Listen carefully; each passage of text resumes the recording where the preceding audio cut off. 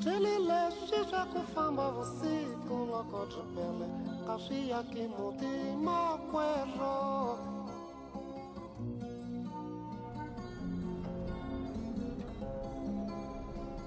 ndlelele swi swa